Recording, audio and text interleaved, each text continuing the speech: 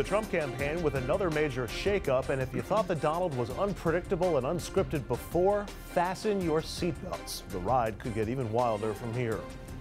Then each candidate facing more issues that raise questions about their trustworthiness or lack thereof. Here we go again. And also, was Aetna's move to pull out of most Obamacare exchanges political payback for the government blocking its merger? We will discuss and debate. Good evening and welcome to RFL. I'm Andrew Whitman in for Richard French, and we start with those big changes once again in the Trump campaign. Today, the tough talking GOP nominee who says he's not changing his campaign style. I am who I am. It's me.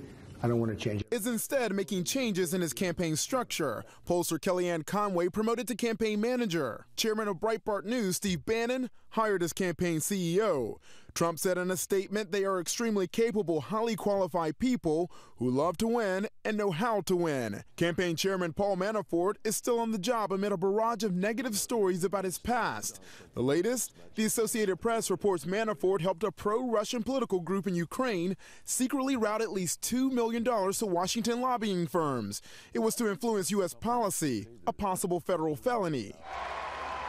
The Trump campaign shakeup came hours after he made his direct appeal to black voters. I'm asking for the vote of every African American citizen struggling in our country today who wants a different and much better future. Trump, who has declined to speak at NAACP and Urban League events, made his comments in front of a nearly all white crowd in West Bend, Wisconsin.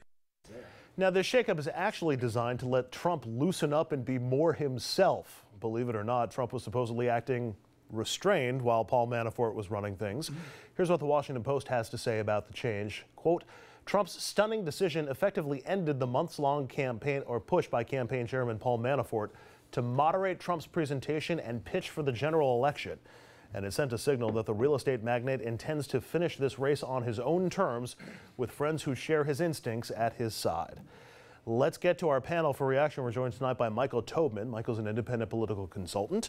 Dominic Carter is to his left, political journalist and author. And on the other side of the table, Mark Furnish, professor at Brooklyn Law, who has also argued before the U.S. Supreme Court. And Michael, first of all, Paul Manafort's reign over the Trump campaign lasted what three months? felt like yeah, felt felt like a lot longer, but I think it was just about two and a half, three months. You you've worked with and run a, a bunch of campaigns. Sure. What does it what does it mean when you when you change the the guy who's running the campaign?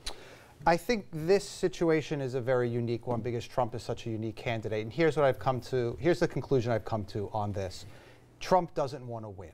And he was surrounding himself with people over these past three months who were in it to win and were doing their best to temper their candidates' rougher, eccentric edges. And he's thinking to himself, oh God, I hope I don't win. What would I do if that happened? I'm going to go back to being me, which got me through the Republican primary. My legacy and, and what people think of me has forever changed, but please don't let me win. But these kinds of changes are usually done to stabilize a campaign and point it in the right direction. Let, let's say he really actually still does want to win. Right. Is, is that ideally what the purpose of, of, of this move would have been? Generally, uh, uh, reorganizations at this late stage are to rescue floundering campaigns and redirect them, and, and we're on the re re restart of the rebranding version two. that being said, in this case, I really do believe 6.0. for 6.0. Uh, in this case, I really do believe it's the candidate pulling uh, back, thinking I, I, don't, I can't do this, and uh, I'm going to go out in a blaze of glory and be myself. Dominic, the new Trump campaign CEO is Steve Bannon. He's the head of Breitbart News. Now, there may be some people out there that aren't familiar with Breitbart. Give us an idea of what Breitbart is. Well, uh, it's a far, far right of uh, online service, and um, it, it's it makes it makes Fox News look tame and moderate in terms of some of its positions. But I just want to uh, comment on uh, Kellyanne Conway, who's mm-hmm. moving up in the in the uh, in the campaign. She's very good. Let me be clear. I don't see her signing on to something to be a loser. Kellyanne throws 100 mile an hour fastballs right down the middle, and she's a female pit bull. So get ready because that's the type of style that she is. She's very thorough and she doesn't let anything. It's going to be very interesting. You said Trump 6.0. It's going to be very oh, interesting. That. Oh, you okay? it's going to be very interesting to see how she can deal with Trump because she's in this thing. Believe me, to win. do, do you think anybody? Do you think she's really going to try to rein Trump in, or, or you know, tell him what to do, or is this just all about letting Trump be Trump? I, I think that Donald Trump, in his mind, as warped as it may be, believes that he can win if he's allowed to be himself. I really think he believes that. And I think that he feels that when he's on prompter, that he's almost like a caged tiger and can't be himself. But the problem is when he's not on prompter, God only knows what he might say. Mark, there, there's almost a little bit of tail wagging the dog I- involved here with the with the Breitbart move into the campaign. Normally, you get these extreme websites or, or sources that slowly influence the conversation on Fox or on conservative radio and, and work its way into the mainstream. Now you're just going right to the source. You've got Breitbart's number one guy right there, right next to Trump. Right. Well, Trump is to some degree a product of Breitbart and of, of uh, Mark Levin and some of these conservative radio commentators. And, and the Breitbart people don't build themselves as, as to the right of Fox News. They uh, build themselves as center rightists, just anti establishment center rightists. So I think it's going to be interesting. I think it's, it's commendable of Trump uh, to do it on his own terms, win or lose.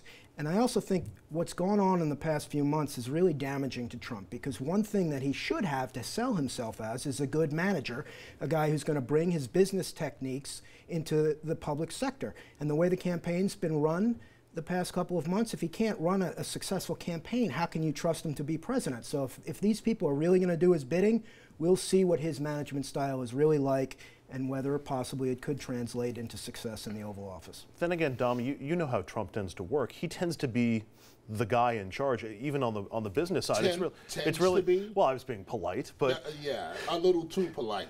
Donald Trump believes, I'm telling you what I know. Donald Trump believes my way or the most successful people do believe my true. way of the highway. In fairness to Trump, they may sugarcoat it a lot better than the way he does. They may sit there and listen to others, but believe me, to reach the levels of success of the Trumps and, and others, it's my way of the highway. Rudy Giuliani was that way. Uh, See, Don, his- you've said his believe buddy me in New twice in the past couple of Very minutes. So Trump is having Yeah. subliminal effects on him. don't worry. Or- don't or you maybe- worry about that. or- don't or- worry. Or maybe I'm having subliminal effects Could on be. him, one way or the other. But, but but Trump Trump believes uh, his way is the way, and I guess we can't argue with his success, financial success thus far. Political is a different ballgame. This has to become about Hillary Clinton out of his mouth 100% of the time to stop shooting himself in the foot, stop saying stupid things and making unforced errors, and talk about her. And I want a po- I want a pony and world peace. And- and He's gotta- what, he's do- what, what, what, what do any of these things have to do with reality? There's so much ammunition that he has if he could just stop the unforced errors and focus on what he has to focus on. And constantly attacking Hillary Clinton might actually work, but Michael, Yeah. Hillary's been going for the middle. She's been reaching out to independent and moderate voters, and even mm-hmm. some some moderate-leaning Republicans. Bringing a Breitbart guy onto the campaign as the CEO, the Trump campaign's reaching to the to the right again. There's there aren't enough votes in the Republican base to win this election. I are there? remember when she ran for the United States Senate. Uh, she received more votes in some parts of Massapequa, North Massapequa, which were very conservative, uh, Republican-leaning areas in Nassau County. She got more votes there than there were registered Democrats. So what that told us is we had to take a guess. Female Republicans voted for Hillary against Rick Lazio uh, for the U.S. Senate. So it's a tried and true tactic. You don't have a home there. Your vote is your right. Your vote is a secret. Vote for me. Dominic, we also have Roger Ailes now consulting with Donald Trump, ostensibly for, I guess, campaign prep, or sorry, debate prep. Uh, Roger Ailes knows about the media and how things play on TV. Any, any thought that that might actually help Trump come debate time? it'll definitely help him in terms of the actual debate. It may be a political landmine outside of the debate. They're going to try their best to do damage control, considering the troubles that Ailes has had at Fox News, uh, the sexual harassment allegations, and on and on and on from repeated uh, female employees. But what you cannot take from Roger Ailes, the man is a genius. He made Fox News out of nothing. Okay, we have to be fair and balanced. I see what you did there. I see what you did. I, I really did. I, it, it just came out. Um, But anyway, he, he made Fox into the product of what it is today. You can't take that away from him. He advised President Nixon, and so you know maybe maybe he can definitely help Trump. Lord knows if, Trump. If you can it. make Nixon attractive to the general public, you got to be a genius. Although, 'Cause although he's a dark, dark dude. if they're trying to boost their numbers among women, given the, the, the legal complications surrounding Roger Ailes right now, that might not be the most effective Is way he to do it. definitely advising them with respect to the debate? Because I saw Yeah. yesterday that, that they, they Not official. It's not. that He's not on the staff, and I don't think he's being paid. But they played golf in Jersey. At, Well, I believe it's a Trump course. So yeah. that. All right, two. I'll call fun issues about the presidential race before we What's go. fun about this? It's like a root canal. is what this is. This, this will be the, the laughing gas portion of the root canal process. Um, the intel briefings that Trump is now getting, he got his first intel briefing today with Chris Christie there, of all people. Uh, any concern, for, and the, this, the nation is still standing, the Republic is still standing, so at least that's gone so uh, that well so far. But is, is there a risk of Trump blabbing about what he's getting in the intel briefing? And Mark, is there any is there any exposure to him, criminal exposure, if he does blab about what he gets in the intel briefings? Second question first. Anybody who's, who disseminates confidential information could have uh, a criminal exposure. That's a given. Can he hint at it? Can he, does, is, Yeah, I is think- it, does he have to quote it verbatim, or can he just sort of allude to I, it? I, I- don't think that you have to quote it verbatim, but if he drops some obvious bombshell that's otherwise unattributed, we're going to know what it is. Uh, with respect to the first question, if he can control himself, he better not hint at anything that's confidential because then he'll lose that argument that he has, the high ground argument about Hillary uh, being extremely careless with state secrets. So I would think that he would have, I would hope that he would have sufficient message discipline not to go there. I, you think they're taking his phone away from him when he walks I into think the they room? adjusted his meds or took his phone away or something. I think it's I think it's killing him that he can't that he can't you know tweet this. I, I, you know the old saying, three people can keep a secret, only if two of them are dead. In this case, it's just I don't know how he's kept it this long. Last point. Well, it's on, only been a few hours, so give That's some what I said. last point on the presidential race. I actually want to go with Michael's thesis that Trump doesn't actually want to win this thing. Do first of all, were you just kidding, or do you actually believe that? You No, I, re- I really that? do believe that. I, I, I think he, I think, as all people are, he compartmentalizes his thinking and he's conflicted, and these things could exist at the same time. And he wants to win, and he's in it to win it, and he's thinking to himself, "I really hope I don't win, and I got to sabotage this any way that I can." Um, eh, eh, winning the Republican primaries decisively, I believe, is probably enough for him. And as I said, it changes history. It changes his legacy and history forever. Uh, but but winning and, and becoming president, I don't I don't see how he could legitimately, in his heart of hearts, think that that's a good fit and responsible. I I take Mike's point about uh, being conflicted and compartmentalizing stuff. I just think that the id of this guy trumps everything, no pun intended. And the id and the desire to win is not something that you can so easily uh, put away, a box box away with a type A like that. I think he smells blood. I in the think water, reasonably gotta try to close that defies some of the polls has him locked in a restroom afterwards and thinking, "Thank God, dodge that bullet." I Don't, think so. Don't- do you think- I think he think actually wants to doesn't want to win, or do you think he sees the writing on the wall and is trying to sugarcoat it and defend his his his ego if, when he loses? based on actions, based on what we've seen the last couple of months, your assessment has to be correct. Based on what we've seen. But knowing the Donald Trump I know, He doesn't like to lose. it, if he loses, all he's going to hear for the rest of his life is loser. That's his it legacy doesn't then. it doesn't No right, it doesn't matter that you won the nomination. Loser, and not only are you a loser, you lost to Hillary Clinton. yeah, I, I disagree. Look, I- how many people like the Buffalo Bills when they lost the three Super Bowls? Nobody likes to be be the bridesmaid. Nobody likes to be second.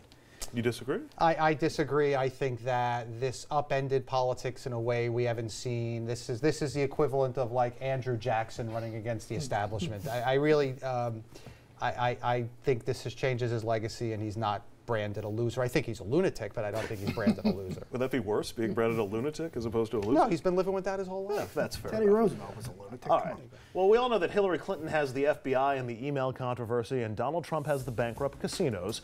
Neither of those stories are going away. In fact, they could go from bad to worse.